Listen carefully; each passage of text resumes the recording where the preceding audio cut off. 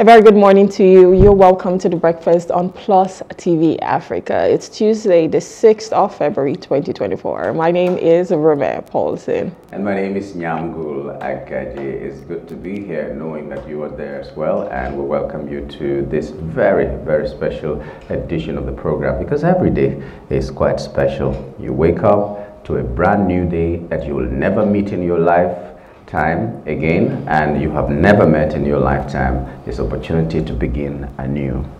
Yeah that's right. Anyways we're going to be looking at some top trending stories as well as some hot topics and what the national dailies are saying this morning on today's bulletin. But first let's check out the quote of the day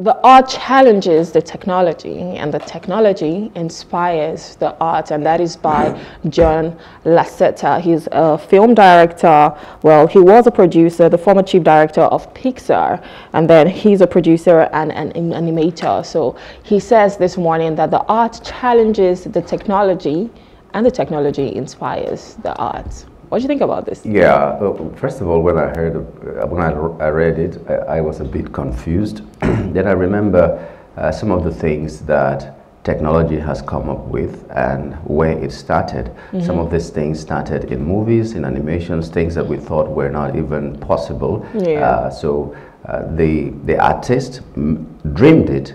Mm -hmm. and the scientist, you know, manifested it, so mm -hmm. to mm-hmm. speak. Mm-hmm. So when the art uh, I'm sure that's that's what I, I felt was the meaning of this. Mm -hmm. The art creates something, technology takes it up, mm. and because technology is able to take it up, it also inspires the artist to think even, even deeper, deeper. And, and better. Right.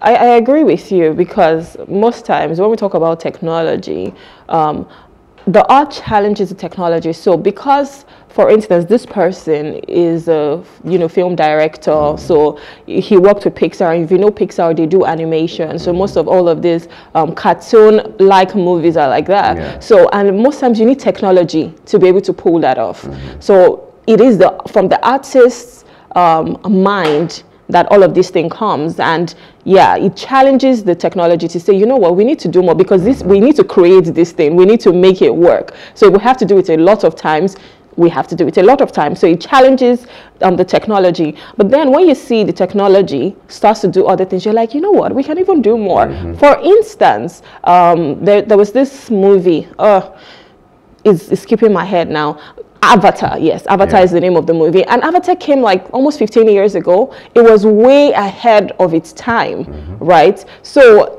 most people saw that as, wow, this is a new technology, mm -hmm. right? And so it kind of like inspires the artist to say, you know what, other other film directors or other people would say, you know what, I can do I can do more with technology.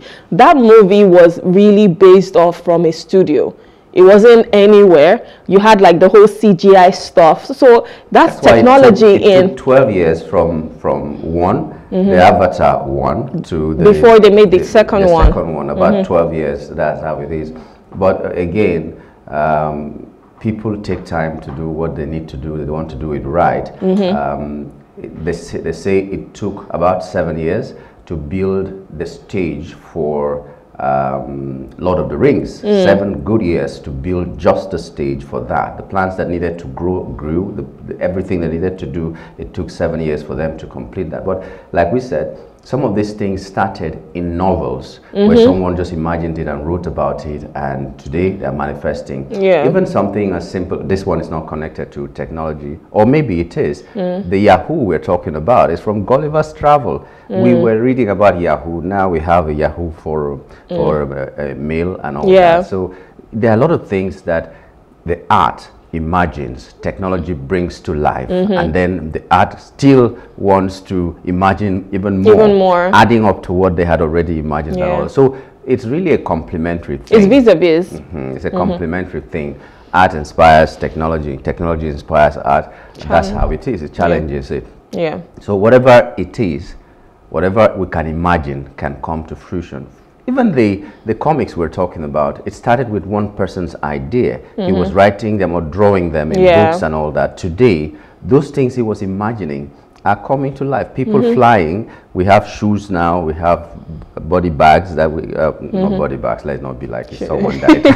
but backpacks yeah. that you can wear and you're flying. Mm -hmm. Things that we didn't imagine in the in the days that even we were growing up. Yeah. So the art will always bring something that will challenge technology and technology will be inspired by what the art gives to it. It's, That's it's right. complementary. Yes, I love that. All right, let's move over to our top trending stories this morning. And the first one says gunmen abduct passengers of two Abuja-bound buses in Kogi State.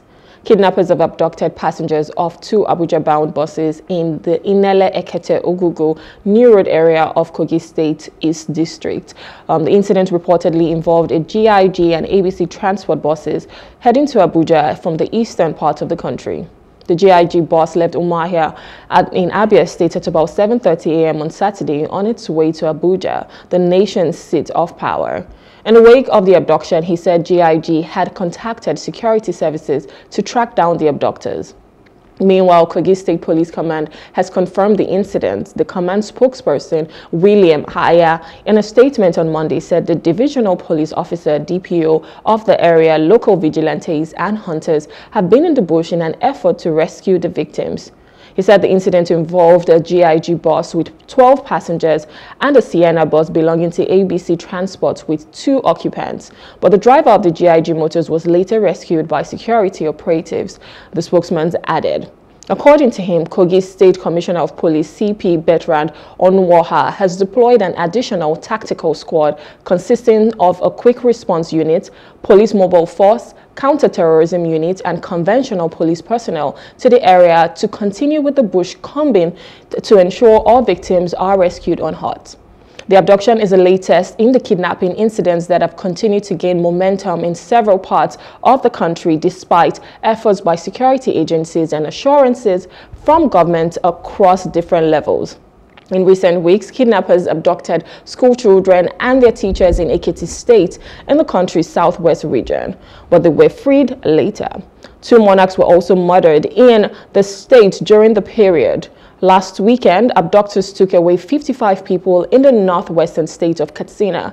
They were kidnapped while escorting a bride along Damari town in Sabuwa local government area of the state.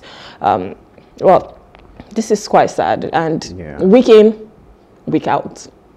Every is this day, the new norm? Every day, because like like experts say, uh, for one reported incident, there could be about five or yes. ten that are not reported or even more than that. And, you know, what was given a mention there was the Ekiti pupils that yeah. were abducted. I saw those photographs yesterday or the day before yesterday, and I couldn't help it. Tears came to my eyes. How could children that young um, witness the murder of their driver, the school driver? Because maybe like a lot of us, the men, we, we don't know the numbers of, of the cough if I have two numbers, I just know one. I don't know the second one. Mm. So this driver didn't know the number of his wife and the principal of the school or so.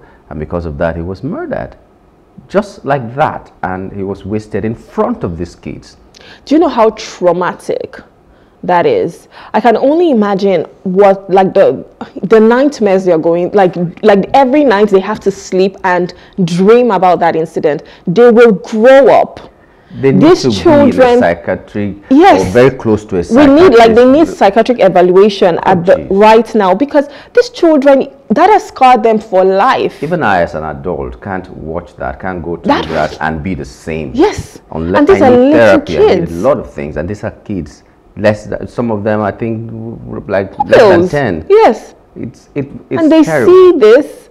Guess what? If if if they grow up to be you know, hard-hearted people, you would not really blame them because of the type of things that they've seen. So gruesome. So the people. It's ridiculous. Can we were, stop this? When the once they were brought, uh, they said they they had medical attention, but if they gave them medical attention, did they give them the psychological or psychiatric yeah. attention, the evaluation that they need? Because beyond the physical scar that they might have, the one that is inside is what is going to live with them or they are going to live with all their lives. And same goes to these people who have been kidnapped uh, on their way to Abuja. You can't afford flying. Hmm. The, then the road is not, not safe either. It's not even how many percent of Nigerians can fly nowadays? And then the roads that you're supposed to You're saying how many people can fly? Safe. How many people can even travel? Look at what happened in December. Like, you know, the government had slashed the prices. There were not a lot of people that could even the afford that. okay. Slashed the prices. the government said yes. they slashed the prices. Yes, but a lot of people could not, because I think they were estimating how many million people, mm -hmm. and they only got like a hundred or thousands. That's like, what they like even say. That's the report. Five million. Because normally, in, in a good year, people who leave Lagos alone uh, more than 5 million. And you're talking mm -hmm. about the whole federation. How many how many people that will need to travel from the north to the east? Yeah. how many people will need to leave lagos or the west my point my point is even people cannot afford that then you're talking about air travel. So now the few people that can even afford you know traveling from one place one state to another even on the road you are not safe. So people would just be like, you know what, I would rather just be where I am because that's that's where I, I can assure my safety. I think government should take a lot of these small things, let me call them small now, into consideration and be very, very fast about what they need to do for Nigerians to come back to at least enjoying life. There are pockets of protests here and there Today you hear these people are protesting. Today, tomorrow you hear one person that was campaigning for this government is apologizing. Mm. And uh, there was one that even walked naked, praying by the seaside for, for the president to I'm emerge. And he emerged a few days ago. He was apologizing I'm to Nigerians. A lot of people are doing that. And it starts like that. I'm not praying for it to degenerate into something else, but whoever is listening, whoever is responsible should take this seriously. Whatever needs to be done for us to see that, okay, maybe in the next two, three months, it's going to be better, should be done. But for now, we, we almost can say 100% that when you wake up tomorrow, the prices of goods and everything will not be the same as yesterday. It will go higher yeah. instead of coming down, which is Anyways, we're talking about security here, so pff, I don't even know what to say. I'm tired of this story. I'm tired. I'm tired of you know having to talk about this almost every time I'm on the show. Please, the lives and properties of Nigerians should be secured. That's just where I'm going to leave it. It should thing, be yeah. that. Yeah. Anyways, let's move over to another story. Duty increase, spot FX rate adoption throw market into panic. The adoption of the spot foreign exchange FX rate in computing duty on imported commodities have thrown importers and the entire business community into a panic mode. For the first time, the Nigerian Customs Service NCS raised the import duty exchange twice within 24 hours on Friday under the guise of obeying the Central Bank of Nigeria's CBN's directive. The unusual adjustment raised the going duties across commodity lines by 48.5% in less than two days. Recall that the NCS adjusted the rate from 951.94 naira to the dollar to 1,356.8 naira to the dollar on Friday. While the market was yet to fully digest the decision, it was raised further by 4%, over 4% on Saturday to the current 1,100 1,413.6 naira to the dollar. In a swift response by the NCS, well, they said the service is simply adhering to the official market as directed by the Central Bank of Nigeria, CBN. Since President Bola Ahmed Tinubu came into office, the import duty determination rate has been increased by 235%. It stood at 422.3 naira to the dollar as of May 29, 2023, when the administration was inaugurated. With the liberalization of the FX market, Naira saw a sharp depreciation last June, forcing NCS to also adjust the rate used for the duty assessment. Since then, the customs rate mimics the spot segment of the FX market, explaining it is not a decision that has that it has control over. The service has ignored calls for the adoption of the average rate as opposed to the spot rate. Those who have advocated average rate adoption have argued that the option would make more sense for the, for, for the predictability and stability of the prices. With spot rate adoption, the customs have left importers guessing what the next day's duty could be, a situation economists said could worsen the inflation, increase the cost of living, and raise poverty index. The fresh increases also triggered a negative response in the prices of goods, including staple food. At the weekend, The Guardian learned, um, one of our national newspapers learned that the prices of many imported items were hurriedly adjusted. A list of cosmetics items cited by our correspondent added that 18 to 25% across the prices. Some products that sold for 2,200 naira per unit were adjusted to 2,600 naira, while the dealer explained that he would pay more to clear his goods, and he had to make provision for the upward movement of the replacement cost. There are fears that the prices of rice, a staple food consumed by many Nigerian households, could see a further sharp rise in the coming days following the increase. As at last May, a bag of 50 kilogram of rice sold for about 38,000 um, naira was soared by close to 100% to 70,000 naira at the close of the year. Following the hike in prices of fuel and importation, traders said Nigeria should expect the essential item to hit 100,000 naira sooner than expected as the rising cost of import feeds into general prices.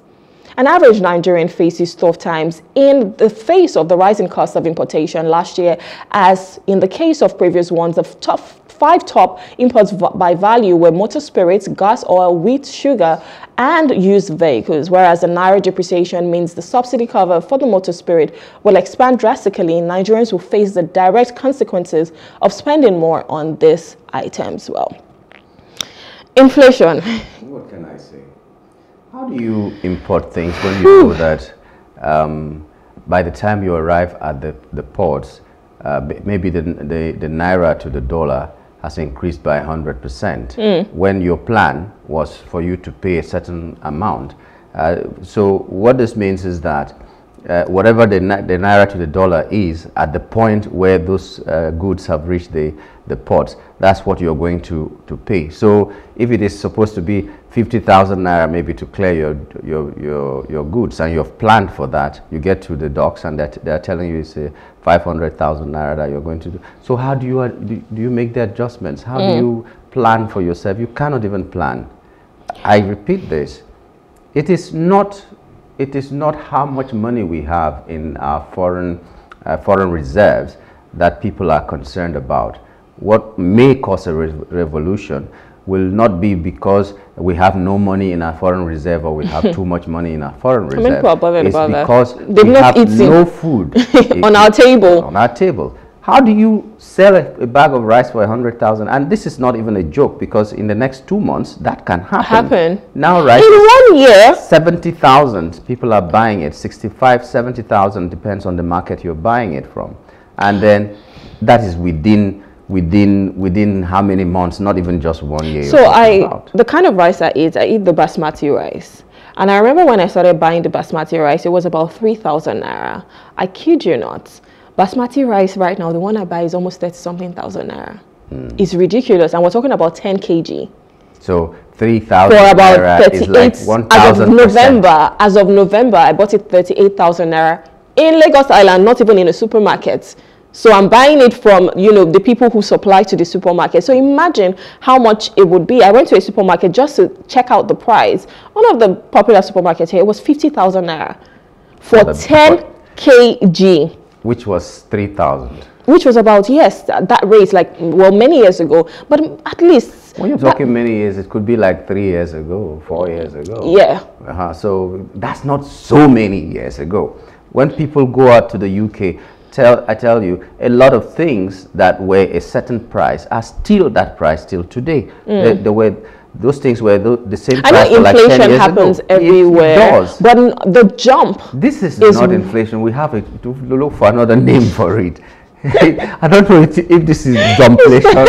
I don't know the name we're going to use because it, it defies reasoning that mm. the country that should be able to produce so much is the one lacking so much. It's, it's terrible. Mm. And then nothing the government will say everything is being done because the other day the presidency was was um, replying one of the former candidates of a political party that things are moving well they are not as bad as he's mm. putting it That's not what the people are seeing. This is this is beyond politicking. This is beyond opposition parties and all that. Something needs to be done. Yeah. I don't want to have to run away from this country. Where will I go to? This is my home. This is my home. I don't want to be anywhere else. I would rather be here. So, well, let's move over to our, final story. Nigerian Immigration Service repatriates 18 irregular Cameroonian migrants from Benue. The Nigerian Immigration Service, NIS, has said it has sent back home 18 Cameroonian irregular immigrants residing in Makurdi. The state controller Jerry Omezi, while addressing journalists in Makurdi on Monday, said the command got intelligence report that the residents in Makurdi, precisely number 22 Jonah Jan Crescent Ima, was housing irregular immigrants. The place was identified by immigration officers who were detailed to carry out surveillance, and they identified 18 Cameroonians who had no travel documents. Upon questioning them, it was discovered that they were here um, operating a foreign-based online marketing company known as QNet. Further investigation revealed that the business was in healthcare products, jewelries, and cosmetics. The head of the online marketing business, Anyi Emmanuel Aberafo, who also had no travel documents, said they invested about 900,000 naira in the business, Omezi explained. The controller described the arrested persons were economic immigrants who had no valid travel documents, hence NIS would not let them stay in Nigeria. He advised them to go back and follow the due process of immigration while assuring them of a decent manner of taking them back to their country. Omezi further added that the vehicles were already on ground to take them to the border to be handed over to the border controller for repatriation. He, however, said that a lady among the group had applied for a refugee status because of the crisis in Cameroon, which the UN High Commissioner for Refugees is processing. All right. Yeah. Just get your travel documents. I don't think there should be any reason for you to go to a country without the necessary travel documents. And this brings me to this story. There was this man that went to the airport with no travel documents. And he said because his his spirit told him that the land, or rather the earth, is for him and he's supposed to take possession. And so the spirit told him that he should go, just have he's a passport. A right? He's a Nigerian. He it happened like Nigerian, like last year. Spirits talk to us so much. so he went he went to the airport with no travel documents. He had a passport, that was just it. But there was no visa, I'm not sure he, if he bought a flight ticket or maybe even bought a flight ticket without a visa, something ridiculous like that. And he went there and was expected to travel. And he said, you know, um, the land is for my father. Yes, God created everywhere, so I should be able to travel to any part of the world that I want to. And terrible but I see. I see. But you see, well, I mean, that's just to make light of the mm -hmm. story, but yes. Well, NIS, um, well, sometimes I, I cannot blame them. Our borders are so porous. I don't know if it is their duty to make the borders less porous or is the government that needs to put something in place. I remember that in America, Donald Trump was even threatening to build a wall. Yes. You know, so it's something that the government has to be proactive uh, about. There are so many Cameroonians. There are so many people from Benin. Even Benin was, in, yeah. In, in Nigeria that that Togolese as well. Uh, travel documents. So the, the borders are too porous. Do you know if how you many go, people from Niger? Go up north, yeah, this, that is the same until even in, into Lagos here, there are some people that you speak Hausa to them, they don't understand. You speak languages up north, they don't understand. And they tell you uh, that they are Nigerians. And mm -hmm. they don't have any travel documents. Mm -hmm. They mm-hmm. are the people who are our gate men, they are the people who mm -hmm. are our mm-hmm. abokis that move around and all mm-hmm. that. And so today, they're telling us that people had to alert them because border control, border mm -hmm. patrol is not How there. did they even get into the country? And that's why we've been calling for uh, for this synergy between all the security agencies that we have and for them to provide drones and everything that needs to monitor the borders. Mm -hmm. The mm-hmm. borders are porous. Mm -hmm. uh, but okay, but when they come in now, and they're doing the business. Yeah. Oh, they're making money. They're making money. The business. When they come in now, is the onus on us to um, you know ask them for instance if you're employing somebody are you supposed to ask them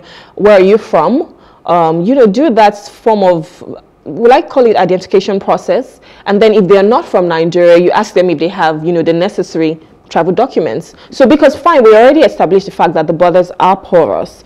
Um, if these people come in because you, like you said, there are gatemen, house helps, nanny, and, and, and all of that. Do we start to ask them, is that a way of helping the government? What, what, what if they tell you they're from Nigeria? What is it that you're going to use to verify? I, as a Nigerian, what do I carry so that's around? What I'm saying. So what do I carry around to show that I'm in Nigeria? No, no, no. So, for instance, if you're if you're in Nigeria mm. and I want to, you know, do some form of identification verification process, I'm asking you where's your family from. Mm -hmm. Do you understand? You need to have like a guarantor that's like a family member. Where do they live? You know, questions like that. And I have to see the. Um, you're not going to bring another another gate man because I would know that there's something fishy. Do you understand once, my point? Once someone enters Nigeria, there's someone he followed, or there's someone who told him about something. So maybe like one big yeah, oga. Like like they come to Lagos now. People come from the north to Lagos. You see them in lorries every day. There must be someone who told him that there's a place, one bacha that you can stay when you're coming here. That person already knows some people around that vicinity. So if they want to call, they will call that person and it will be like, oh, we are from here. Yeah, but I'm just saying, like, is there something we can do to actually help the government? The government should give us some kind of identification. It started with the time of Obasanjo. There was this national identification that he did. So everybody was supposed to have some form of passport so that they will identify you because this enumeration was done within the villages. So everybody knows everybody else and then we got we, we had all those things now nobody uses those things anymore. Mm. I don't even know where mine is, that passport is. So, I'm sure if I so a Nigerian, a Beninoa, or any, somebody from a Cameroonian or mm. all that can enter into Nigeria and he's as empty as I am. Mm -hmm. So how do I so identify? Do you, yeah, yeah. So some of these people, like from Cameroon, people who are from Cameroon, they speak Boki language, which is a border mm. town. Some of these people intermarry so they know people mm -hmm. that are coming from other places like that. And so but, they kind of just blend in, sort of. Yes. So even the, my people migrated from somewhere in Cameroon. Mm. So th the first time I visited Cameroon, I went to that village and they were speaking my language. Interesting. So if if you want to catch them and say, okay, you say you're from Anyways, there, speak the language, control, border control, please, instead of us thinking so of how to give us identity so that you can find out who doesn't have our identity and then make sure the border control, yeah. border patrol help us. is top notch. Help us help you. All right, we'll go on a short break. When we return, we'll be looking at what the national dailies are saying this morning. Stay with us.